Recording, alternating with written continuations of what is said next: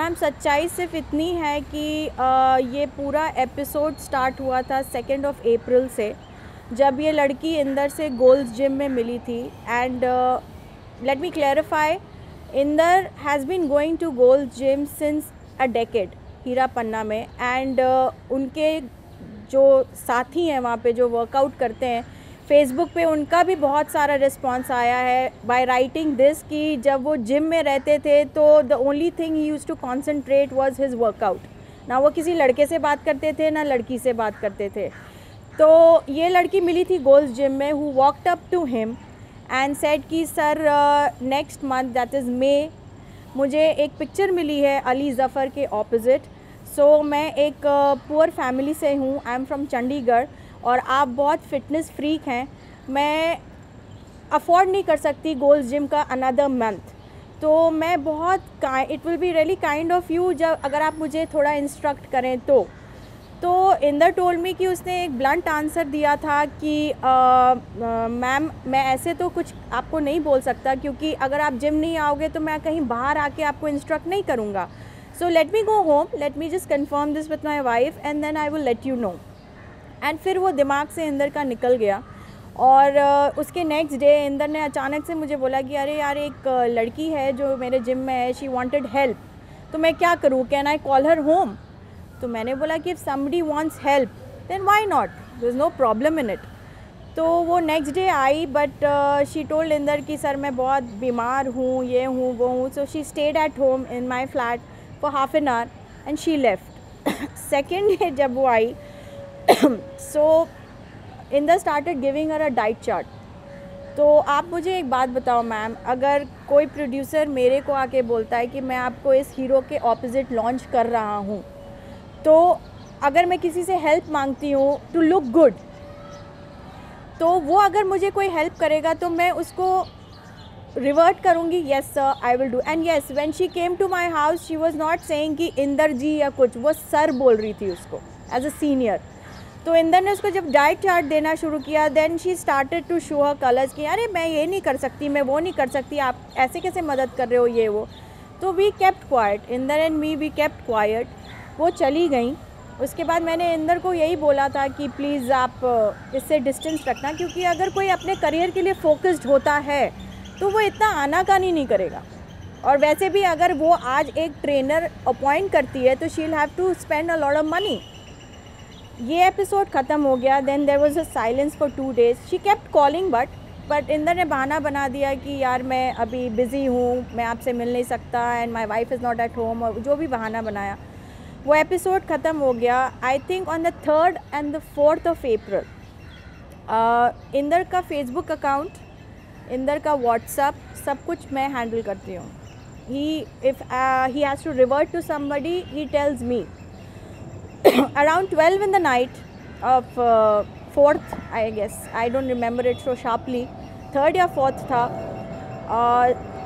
From her number WhatsApp पे messages आने लगे। आई लव यू मैं आपके बिना नहीं रह सकती, मैं ये हूँ, मैं ये कर लूँगी, मैं वो कर लूँगी। तो we didn't respond to it इसे कि आजकल की लड़कियाँ ऐसा गलती कर देती हैं या कुछ। पर उसके ठीक पाँच मिनट बाद उसने फ़ोटोग्राफ्स भेजना शुरू कर दिया अपने हाथ कटा हुआ फ़ोटोग्राफ्स और वो वो मैसेजेस भेजने लगी कि आ, आपको मेरे से बात करवाने के लिए आपको मेरे साथ रहने के लिए और मैं क्या करवा कर सकती हूँ आप मुझे बताओ।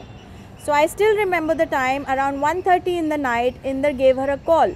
When she picked up she was fully drunk. And probably she was out somewhere in a pub or so, क्योंकि बहुत लाउड म्यूज़िक आ रहा था। इंदर मेरे सामने बात कर रहे थे। उन्होंने स्टेटमेंट दिया उस लड़की को कि आप क्यों ऐसा कर रही हो? आपने, आपको मैंने अपनी फैमिली से इंट्रोड्यूस कराया। I am a family man so please आप ऐसा मत करो। तो वो लड़की I don't know what she said from that side but Inder got angry and he said कि please do not call me any more and there is an application 360 degree security जो इंदर के फ़ोन में downloaded है, उस पर मैंने इसके सारे एस एम और फ़ोन ब्लॉक कर दिए। Now she has two numbers एक नंबर से उसने 119 कॉल्स किए, दूसरे नंबर से उसने 99 कॉल्स किए, और मैसेजेस शायद छः से सात भेजा था और मैसेजेस हो था कि आप प्लीज़ मेरे घर आ जाओ, आप मुझे सुला जाओ, मैं आपके बिना ज़िंदा नहीं रह सकती, ये, वो ये, वो। तो it was huge chaos and वो एपिसोड ख़त्म हुआ। There was a silence for another two three days अब इन टू थ्री डेज़ में मुझे नहीं पता कि क्या हुआ, क्या नहीं हुआ but Inder was not at home after that he was away from home for two days मेरे से उससे लड़ाई हो गई थी इसी पर्पज़ से तो I shifted to my mother's flat with my baby तो आई टोल्ड हिम इधर यू सॉर्ट इट आउट और I will sort it out ना उस उस दरमियान, उसके और उस लड़की के बीच में क्या हुआ, मुझे नहीं पता बट बाद में जब दो दिन बाद इंदर घर आए तो मुझे पता चला कहीं से कि वो उसके घर पे ठहरे हुए थे। इस लड़की ने कुछ बोला था या ऐसा कुछ किया था तो वो वहाँ ठहरे हुए थे। But yes when he was there he was constantly talking to me on the phone for asking me to come back and all that and he didn't sound drunk at all he was in his senses everything was okay so the day i came to know that was the 22nd of april that Inder had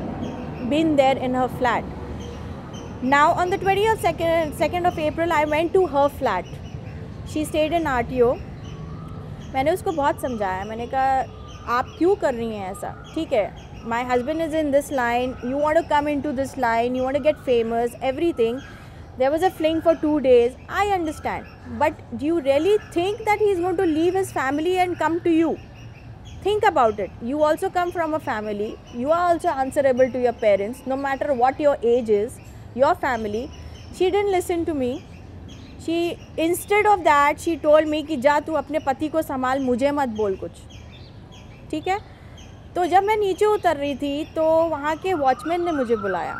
उन्होंने मुझे ये statement दी उस girl के ख़िलाफ़ कि ma'am आपके husband को हमने देखा है, बहुत पिक्चरों में देखा है। ये लड़की ऐसी ही है।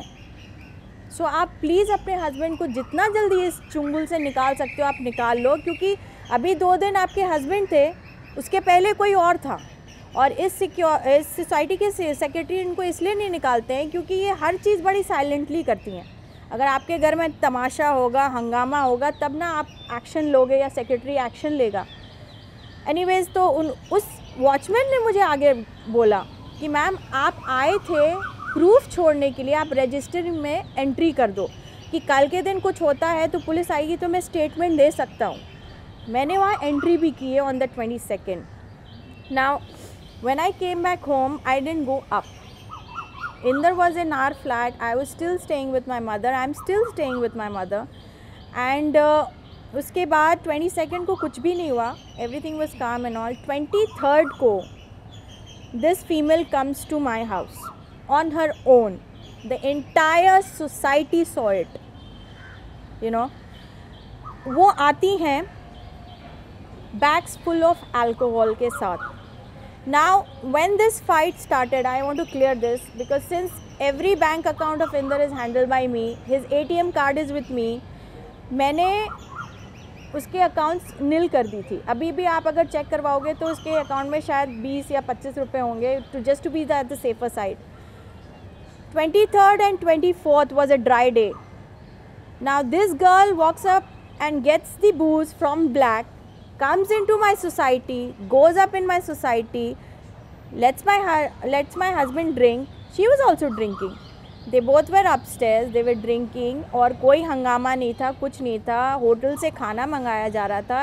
Everything was as smooth as that कि उस समय ये पिक्चर मिल रहा था कि वाइफ वाइफ सेपरेट हो चुकी है and this girl is there I would not lie this exactly what happen twenty third को ये सब हुआ। ट्वेंटी फोर्थ के मॉर्निंग से इंदर स्टार्टेड मैसेजिंग में कि I am in deep shit I am drinking alcohol I have done a blunder please come back home I don't want to be into into all this please take me out मैंने कोई respond नहीं दिया क्योंकि उस समय मैं इतनी angry थी, इतनी गुस्से में थी कि मतलब एक तो he was cheating in this way and secondly is asking me to help him तो मैंने कोई रिस्पॉन्स नहीं दिया उनको। तो around I think one thirty one thirty बहुत ज़ोर से आवाज़ आई ऊपर। तो हम लोगों ने, मेरी और मेरी मॉम ने सोचा कि मे बी कुछ फ्लैट में गिरा होगा और समथिंग लाइक दैट एंड एक चीज़ बहुत अमेजिंग है इस बिल्डिंग की कि हमारे फोर फ्लोर्स हैं और चारों फ्लोर में अगर कुछ गिरता है ना तो सबको पता चलता है कि कुछ गिरा है। सबकी कॉन्वर्सेशंस भी सुनाई देती हैं। This is the most important part of this entire case which can save my husband अगर कोई किसी से लड़ेगा भी ना तो उसका पूरा कॉन्वर्सेशन सुनाई देगा आपको। चिल्ला चिल्ली तो बहुत दूर की बात है नॉर्मल लड़ाई जो होती है। तो वो लड़की फिर पाँच मिनट बाद मेरे मॉम के दरवाजे पे आई और चिल्लाने लगी अरे, आपके हस्बैंड ने हाथ काट लिया है and this blood all over please आप आकर के अपने हस्बैंड को बचा लो and all that so I just gave gave her a statement I said सामने इलेक्शन हो रहा है. कॉप्स खड़े हैं. पुलिस वैन खड़ी है. आप रह रही थी उनका रिस्पॉन्सिबिलिटी लेके. तो अभी वो मर रहे हैं तो कौन रिस्पॉन्सिबल है?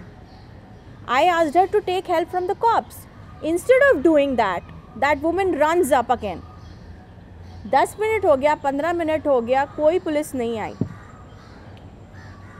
I call the police police I, police के साथ में ऊपर गई। पुलिस को मैंने बोला कि ऐसे ऐसे सिचुएशन है, पुलिस ने ब्लड देखा, सब कुछ देखा। पुलिस उनको ले गई, वर्सोवा पुलिस स्टेशन। उन्होंने जो कुछ भी मुझे बोला होगा, चलो ठीक है, उन्होंने बोला, आप डिवोर्स ले लो, ये ले लो ले लो।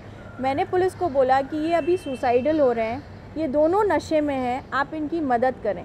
मेरे डिवोर्स क्या होगा, क्या नहीं होगा? And that was my complain I was trying to save life मैं अपने हस्बैंड के अगेंस्ट कंप्लेन नहीं करने गई थी।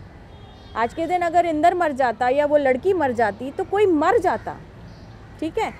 तो उन लोगों ने बोला, हम हैंडल कर लेंगे, आप जाओ। तो मैंने बोला, आप मुझे एनसी नंबर दे दो। तो उन्होंने बोला, आज इलेक्शन है, कल आना।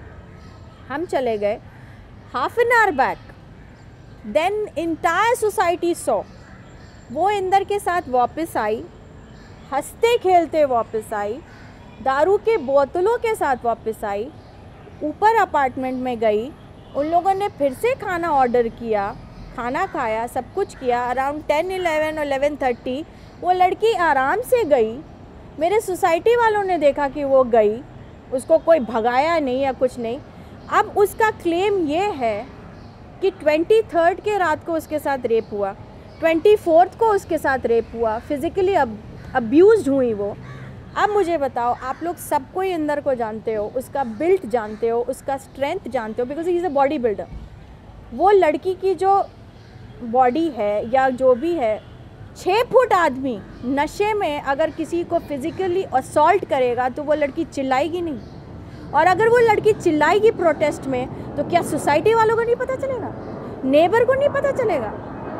आज मेरे साथ अगर रेप होगा, किसी सोसाइटी में तो चिल्लाऊँगी नहीं मैं। या मेरे को भगवान ने ऐसा त्रिशूल दे दिया है कि मुझे इतना स्ट्रेंथ बेयर करने की शक्ति है।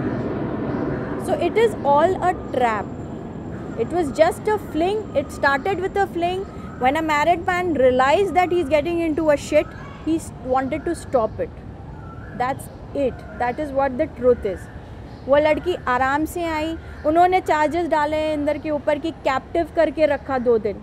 आप जब होटल से खाना मंगा रहे हो, आप जब अयाशी कर रहे हो, जा रहे हो, आ रहे हो, घूम रहे हो, सब जगह, उस लड़की के साथ तो कितने लोगों ने उसको पॉप टिप्स के बाहर देखा है खाना खाते हुए या जो भी करते हुए आई डोंट नो तो आप कैप्टिव कहाँ से हुई? और जब पुलिस आपको ट्वेंटी फोर्थ को लेके गई तब आपने पुलिस को स्टेटमेंट क्यों नहीं दिया कि ये आदमी मुझे कास्टिंग काउच में फंसा रहा है? मेरा रेप कर रहा है। रात में मेरा रेप किया और अभी मुझे कैप्टिव बना के रखा हुआ है। आप पुलिस स्टेशन भी गई, आप पुलिस वैन में भी गई। हम लोगों ने यहाँ के ऑफिसर्स को बोला, जो ड्यूटी पे थे, उस लड़की को बोला कि अगर तुम्हारे साथ कुछ गलत हो रहा है तो पुलिस को बताओ। उसने तब कुछ नहीं बोला, क्योंकि वो खुद इतने नशे में थी। आपको आज मैं, अगर if I belong to a good family I am asking all of you this question if I belong to a good family I can fall in love with a married man but the moment I see that he is drunk and he suicidal and police has already taken me away from his house I will be a fool to come back to his apartment what is the reason behind it कि वो वापस आई उसके साथ। उसको अपनी ज़िंदगी से कोई डर नहीं था और आज वो क्लेम कर रही है। जब यहाँ से निकल गई तो पाँच बजे जा कर के बोल रही है कि मेरे साथ रेप हुआ है। मेरे साथ ऐसा हुआ है, मेरे साथ वैसा हुआ है। आप यहाँ से निकल गई, आप किसके साथ जा के सोई हैं? आपने क्या किया है? वो हमको क्या पता है? आप तो मेरे हस्बैंड को फंसा रहे हो। This is the truth